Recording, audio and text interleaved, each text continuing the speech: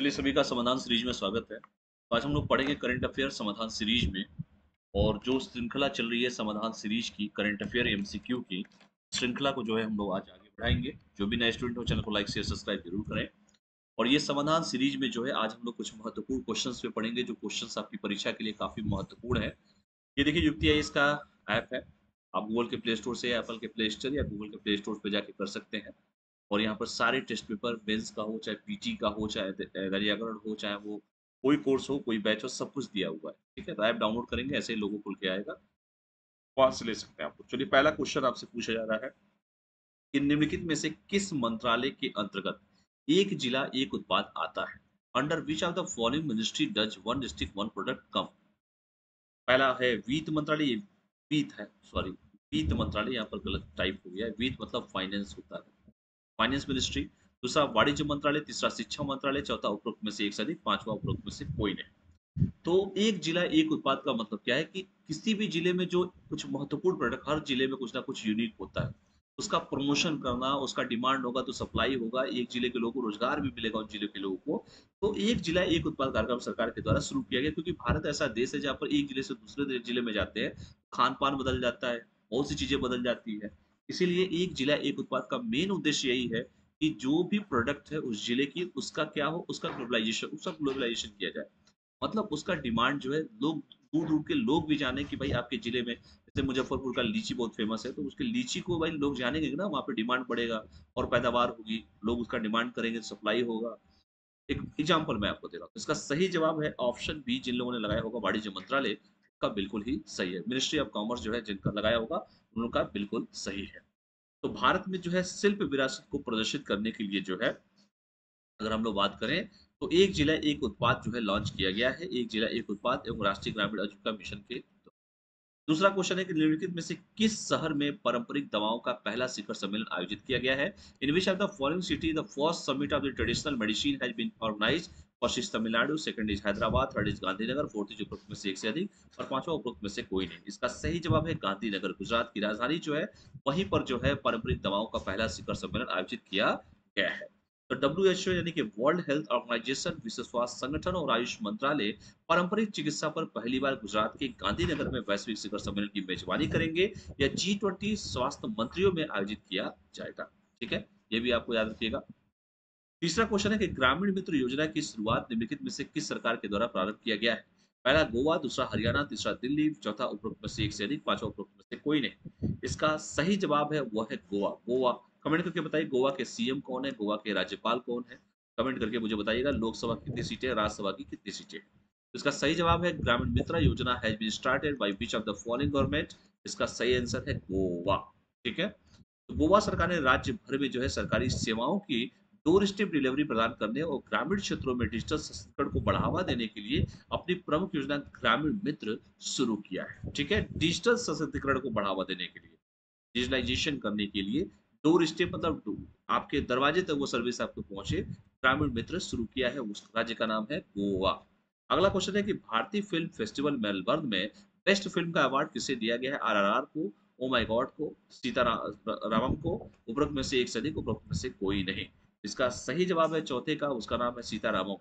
इसको दिया गया है, ठीक है? ऑप्शन सी जो है बिल्कुल सही है।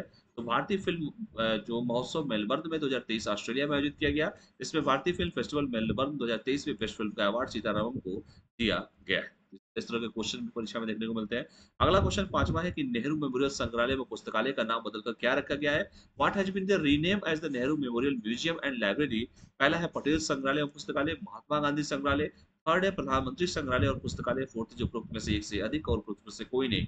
इसका सही जवाब है, प्रधानमंत्री संग्रहालय और पुस्तकालय के नाम से अब जाना जाएगा, क्योंकि नाम बड़ा चेंज आजकल हो रहा है, आपने देखा ही होगा कि मुगल सराय रेलवे स्टेशन का नाम दीनदयाल उपाध्याय कर दिया गया इलाहाबाद का नाम प्रयागराज कर दिया गया, लखनऊ का नाम लक्ष्मणपुर की बात चल रही है।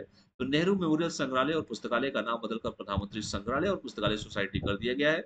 इसकी स्थापना उन्नीस में नेहरू जी के द्वारा किया गया था। अगला क्वेश्चन है कि ग्राफिन कार्यक्रम जो है, निम्नलिखित में से किस मंत्रालय के सहयोग से प्रारंभ किया गया है? पहला, इलेक्ट्रॉनिक और सूचना प्रौद्योगिकी मंत्रालय, दूसरा, सड़क और परिवहन राज्य मार्ग मंत्रालय, तीसरा, कारपोरेट कार्य मंत्रालय, चौथा उपरोक्त में से एक से अधिक, पांचवा उपरोक्त में से कोई नहीं। इसका सही जवाब है, छठवे का वो है, इलेक्ट्रॉनिक और सूचना प्रौद्योगिकी मंत्रालय, अर्थात ministry of electronic and information technology. चूँकि ग्राफीन की बात की जा रही है, इसका सही जवाब है, ऑप्शन ए, यानी कि एम ई आई टीवाई ठीक है? तो सूचना प्रौद्योगिकी सचिव ने केरल के मेकर विलेज कोच्चि में एक समारोह में ग्राफीन अरोड़ा कार्यक्रम लॉन्च किया है। इसका उद्देश्य केंद्र स्टार्टअप और उद्योग को संपूर्ण सुविधा प्रदान करके अनुसंधान और विकास और व्यावसायीकरण के बीच के अंतर को क्या करना है? भरना है, ठीक है? अगला क्वेश्चन देखते हैं। अगला क्वेश्चन है कि रिपोर्ट विदाउट बॉर्डर्स इंपॉर्टेंट लिख दे रहा हूँ यहाँ पे क्योंकि यूपीएससी ने कई बार इस तरह के प्रश्न को पूछा है। द्वारा जारी रिपोर्ट के अनुसार विश्व प्रेस स्वतंत्रता सूचकांक 2023 में भारत का कितना स्थान है? According to the report release by reporters without borders What is the rank of India in the World Press Freedom Index 2023? First option is 150, second option is 161, third 135, fourth उपरोक्त में से एक से अधिक नहीं more than one of the above and fifth is उपरोक्त में से कोई नहीं नन ऑफ़ दीज एबव इसका सही जवाब है सातवें क्वेश्चन का वह है 161 जिन लोगों ने 161 लगाया होगा उनका बिल्कुल सही है क्योंकि 2023 में 161 है लेकिन 2022 में 150 था। 180 देशों की रैंकिंग को देखा जाए। ठीक है, ये स्वतंत्रता दिवस, ये विश्व प्रेस स्वतंत्रता दिवस है यहाँ पर। इसको मैं थोड़ा सा यहाँ टाइपिंग मिस्टेक हुआ है, विश्व प्रेस। स्वतंत्रता दिवस तीन मई को मनाया जाता है, या विश्व प्रेस कर दिया है मैंने। वर्ल्ड प्रेस यहाँ पर लिख देता हूँ, वर्ल्ड प्रेस। वर्ल्ड प्रेस स्वतंत्रता दिवस जो है, तीन मई को मनाया जाता है। इस दिवस के उपलक्ष्य में रिपोर्ट विदाउट बॉर्डर्स के द्वारा विश्व प्रेस स्वतंत्रता सूचकांक 2023 को प्रकाशित किया गया है। इस बात को सबको जानना चाहिए। तो 2023 में जो है, एक और 2022 में रैंक है 150 ये भी आप सभी को याद रखना चाहिए। एक क्वेश्चन रैंक से पूछता है, ठीक है? एक क्वेश्चन रैंक से हमेशा हर साल पूछता है। अगला क्वेश्चन है कि ड्रोन पैराशूट परीक्षण जो है निम्नलिखित में से किस मिशन से संबंधित है? पहला, Chandrayaan three Gaganyaan second is third second is third is Aditya L one और उपरोक्त में से एक से अधिक और उपरोक्त में से कोई नहीं।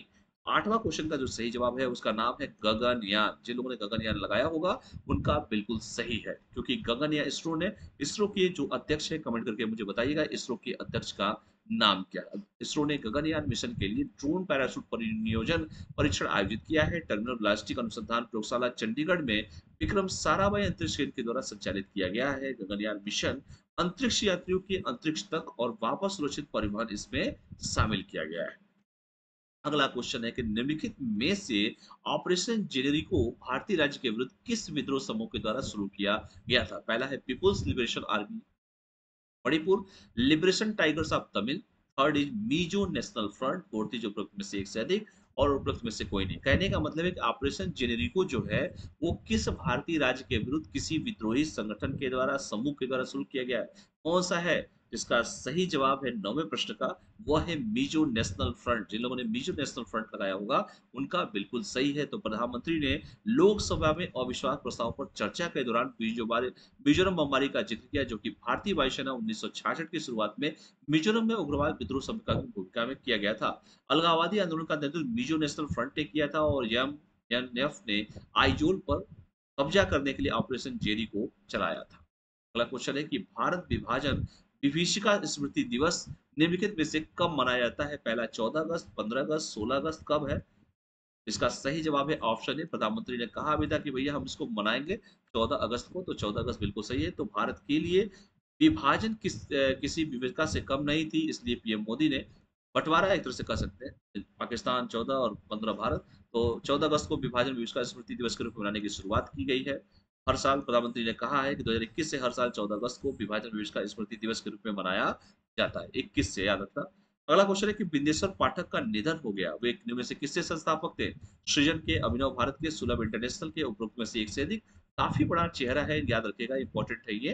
तो इनका सही जवाब है सुलभ इंटरनेशनल। सुलभ इंटरनेशनल से संबंधित है, क्योंकि सुलभ इंटरनेशनल ये 80 वर्ष की आयु में जो है इनका निर्धन निधन हो गया है। निर्धन नहीं है, निधन है।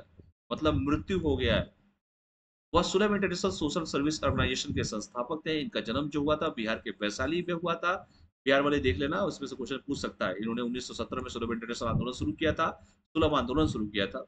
डॉक्टर पाठक को 2003 में पद्म भूषण से सम्मानित किया गया था। अगला क्वेश्चन है कि निम्नलिखित में से आईसीएमआर के आंकड़ों के अनुसार भारत के किस राज्य में कैंसर के मरीजों की संख्या सबसे अधिक पाई गई है? Are following state in India has the highest number of cancer patient as per ICMR data first option is Bihar second is Uttar Pradesh third is Madhya Pradesh fourth is उपरोक्त में से एक से अधिक, और लास्ट है उपरोक्त में से कोई नहीं।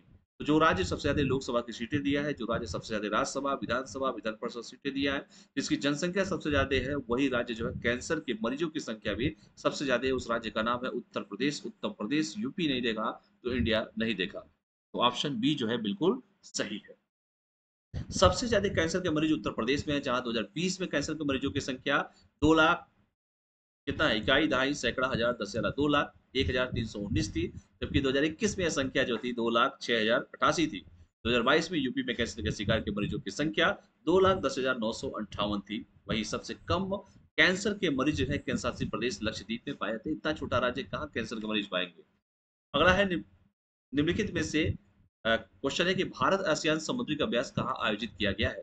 Where among the following the India Asian maritime exercise held first is Goa, second Visakhapatnam third is Singapore, fourth उपरोक्त में से एक से अधिक, और लास्ट इज़ उपरोक्त में से कोई नहीं। इसका सही जवाब है, वो है सिंगापुर। घूमने जाइए आप सभी। सिंगापुर में किया गया था तो भारत आसियान समुद्री अभ्यास, सिंगापुर में किया गया था। तो ये दिनों के अभ्यास देखिए कब हुआ? दो मई 2023 को हुआ। सिंगापुर के नेवल बेस, चांगी में प्रथम आसियान भारत समुद्री अभ्यास 2023 के उद्घाटन समारोह का आयोजित किया गया। और ये उद्घाटन समारोह की सह, मेजबानी रिपब्लिक ऑफ़ सिंगापुर नेवी और इंडियन नेवी के द्वारा की गई थी। इसमें अन्य आसियान देशों के जहाजों और नौसेना अधिकारियों ने इसमें भाग लिया था। ठीक है? चलिए अगले क्वेश्चन पे बात करते हैं। निम्नलिखित में से फेमिना मिस इंडिया 2023 का किताब किसने जीता है? ये किताब नहीं है किताब ठीक है? ये टाइपिंग एरर वाले को जो है आज मैं बताऊँगा। इसके चक्कर में मुझे लिखना पड़ रहा है बार बार। तो निम्नलिखित में से फेमिना मिस इंडिया 2023 का किताब किसने जीता है? पहला है श्रेया पुंजा दूसरा नंदिनी गुप्ता, तीसरा स्ट्रेलर लुवंग और फोर्थ जो उपरोक्त में से एक से अधिक और उपरोक्त में से कोई नहीं। क्या लगता है? कौन जीता होगा? तो नंदनी गुप्ता जो है, राजस्थान की है, वही जीती है। ऑप्शन बी जो है, बिल्कुल सही है। देख लीजिए, राजस्थान की नंदनी गुप्ता ने जो है, फेमिना मिस इंडिया वर्ल्ड 2023 का खिताब जीती है। देखो, यहाँ सही लिखा है इसने। यह उनसठवा संस्करण खूबसूरती और प्रतियोगिता का था। पहली रनर अप दिल्ली से श्रेया पूजा थी, जबकि दूसरी रनर अप मणिपुर की उजम उमंग थी। ये भी याद रखना चाहिए रनर अप का भी। तो राजस्थान के सीएम कौन है? राजस्थान के राज्यपाल कौन है? राजस्थान की लोकसभा की सीटें कितनी है, राज्यसभा कितनी सीटें हैं, पिंक सिटी किसे कहते हैं, कमेंट करके मुझे आप लोग बताइएगा, ठीक है? तो इसका पीडीएफ जो है, आप फ्री पीडीएफ में जाएँगे तो वहाँ पर इसका फ्री पीडीएफ आपको मिल जाएगा। जो क्लास है, उसका पीडीएफ आपको वहाँ पर ऐप में जाएँगे तो वहाँ पर आपको अवेलेबल है। तो आज के लिए हम लोग इतना ही करते हैं। समय नहीं लूँगा ज़्यादा क्योंकि आप लोग का पेपर भी है, बिहार पीसीएस का और बहुत सारी परीक्षाएँ हैं। और यूपी में दो वैकेंसी आने वाली है, एक एपीएस आने वाला है, सहायक अभियोजन अधिकारी। अधिकारी जब शब्द में लिखा है तो अधिकारी का एक पोस्ट है। और दूसरा जो पोस्ट है वो समीक्षा अधिकारी का आने वाला है, क्योंकि कल आयोग ने जो है डिक्लेयर कर दिया है कि अगले महीने जो है नोटिफिकेशन आ जाएगा। तो तैयारी अच्छे से कीजिए। ठीक है? और मिलते हैं हम लोग नेक्स्ट वीडियो में। जो भी क्वेश्चन पूछे गए उसके कमेंट कमेंट बॉक्स में कमेंट ज़रूर कीजिएगा। बहुत बहुत धन्यवाद।